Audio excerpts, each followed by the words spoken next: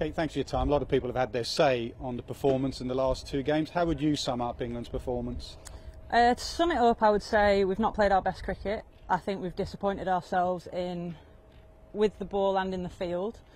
But having said that, I think we've had really small margins for loss. You know, we, we lost the first game by 11 and lost the second game by 7, and we didn't play our best cricket. So I think we could be in a worse position. Um, and I think it's almost a positive thing that we're not playing good cricket because we know where our areas are to improve. So it's been difficult, and we've had to have some chats about what's going wrong, but I think we've still got time to put it right. So again, that's positive for me. How's the ball coming out the hand for you?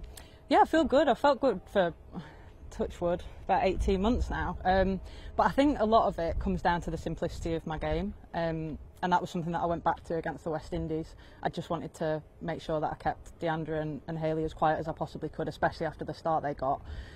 And I felt like I probably went away from that against Australia. And I know that one of my strengths is just being relentlessly boring and trying to build pressure and do that often with Sophie when she bowls at the other end. So I was happier with my performance on whatever day it was against the West Indies, but I'm just obviously disappointed that I dropped that catch and then another one went down later. So I probably felt like I didn't get the rewards that I should have had. Shows that statistics aren't everything, aren't it? Because the stats will say what 10 overs for 30 odd, but you actually bowled England back in that game and you were relentless with your length. You must be very proud of the way you bowled against the West Indies. Yeah, we'd done. Um, we had a look at Hayley before we played with our analyst, and, and he said that a lot of her scoring shots from when she hit her 100 in, in the opener, none of them were taken off the stumps, and that's quite a big positive for me because that's what I aim to try and do. So I knew that if I could get that right as often as I could, then I could build pressure. Um, and I think we have a stat where three or more pressure overs, which for us is less than two runs in an over, if you can build up those, then you're likely to take a wicket. And we did that with, it showed in Sophie's over where she took that too, and we got the run out. So, yeah, it definitely felt like the momentum shifted at that time. Um, but that, that's my role in the team. It's not to take the glory and have fifers, it's just to almost be boring and, and do what can be a difficult job sometimes. So, can I ask a, a silly question? Why doesn't everyone do that role? Because some of the seamers have been banging it halfway in, going for the shorter ball, which Australia put away, and to a degree West Indies put away. At some stage, why isn't it just everyone bowl length, or do they just get used to that?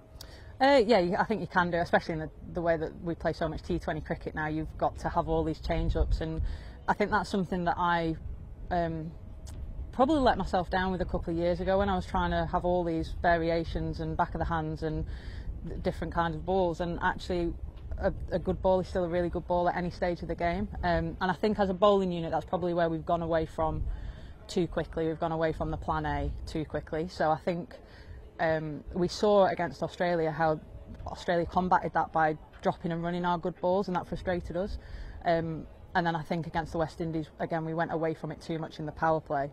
Um, and I also, we actually created a lot of pressure on Dottin. She, I think her strike rate was 50 or 60 at one point, but it felt like there was a lot of commotion because of the way she bats and the way she winds up. And, and she wound up to defend me, and I was absolutely petrified she was going to nail it back at me, and she didn't. So I think sometimes you've just got to really be able to analyse what you're doing in the moment, which can be hard to do in those pressure moments. Challenge of playing against South Africa because you've got a very good record against them. You've won 21 of your last 23 ODIs.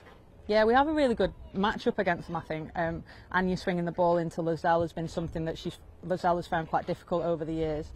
Um, but we also know that Lizelle's not played a lot of cricket, and she's probably at the top of their order, one of their main batters. So um, I think it's just the challenge for us. I think going into this game will be our mindset and not worrying too much about who we're playing. It's getting our little bits right. Our wides, We've bowled far too many wides, which is not like us as a unit. Um, and like I said, making sure that we're bowling our best ball for longer.